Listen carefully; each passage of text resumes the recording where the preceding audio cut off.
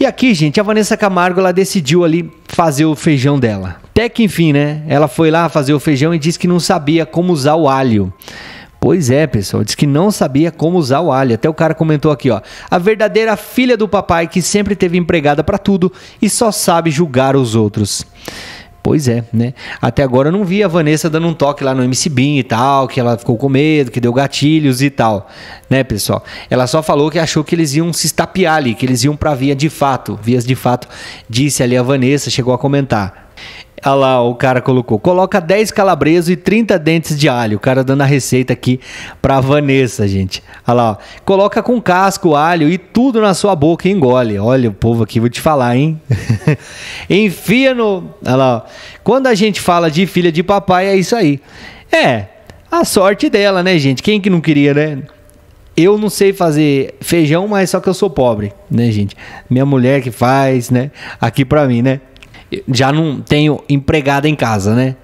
Faz o feijão, daí eu vou ajudo com outra coisa na limpeza e assim vai, né, pessoal? E o Dado Dolabella, hein, gente? Dado Dolabella, ele acabou ali criticando o Davi e tal. Vou colocar para vocês verem o que, que o Dado falou.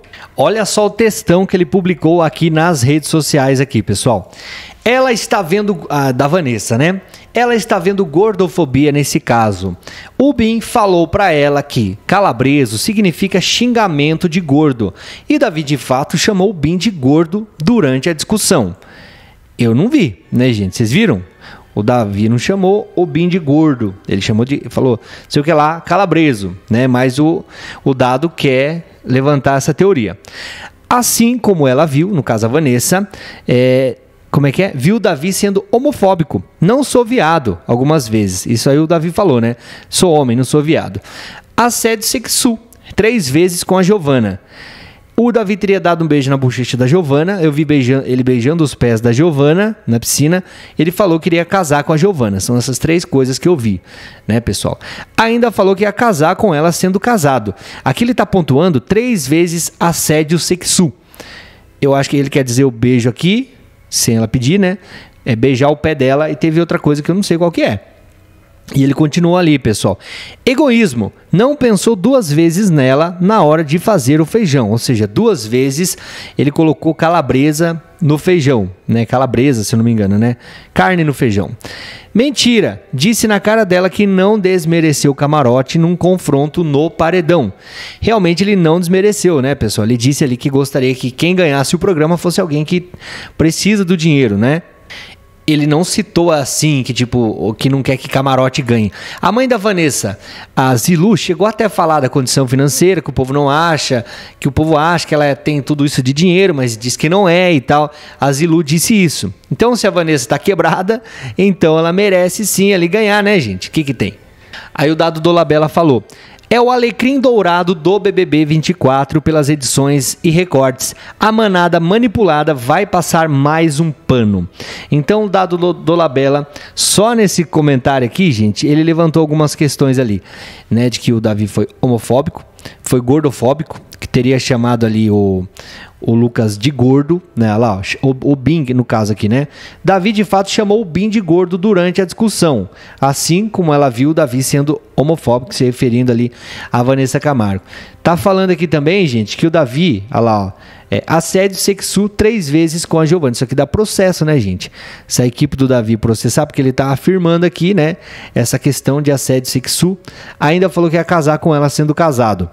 Enfim, o Dado tá só anotando ali, né, segundo ele, as coisas erradas que o Davi tem feito, mas a conclusão que ele chega é o seguinte, né, ó, é, é o alecrim dourado do BBB 24. Pelas edições e recortes, a manada manipulada vai passar mais um pano. Então aqui o Dado Dolabella defendendo, pessoal, a Vanessa Camargo. Olha, em relação ao dinheiro da Vanessa, gente, a mãe da Vanessa tinha falado isso aqui, né? Zilu diz que Vanessa não é bem resolvida financeiramente, filhos para criar. Pois é, gente, Vanessa não teria toda essa grana, não?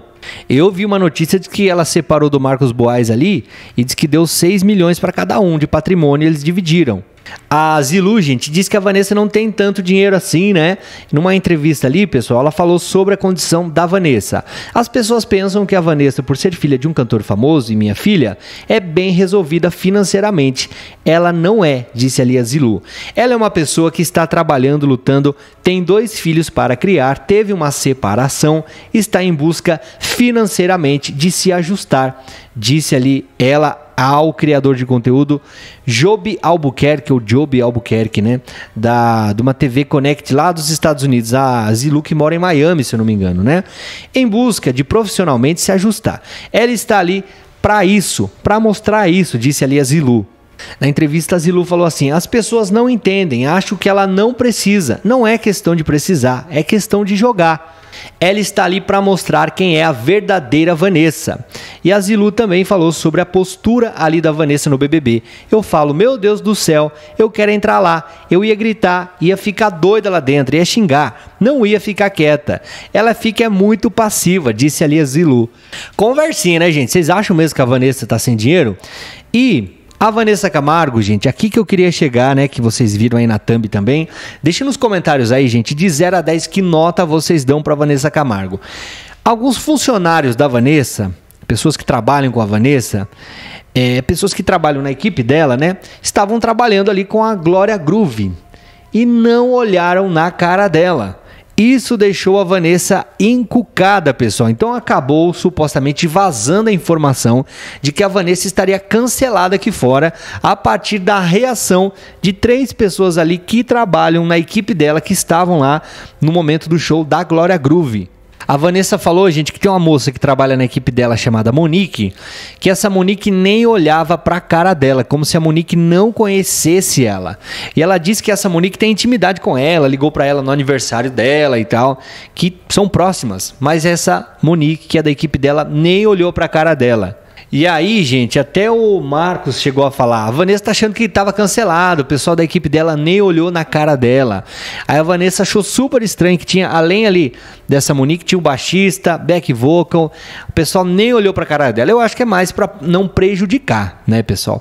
Mas ela tava pensando que pudesse estar cancelada aqui fora.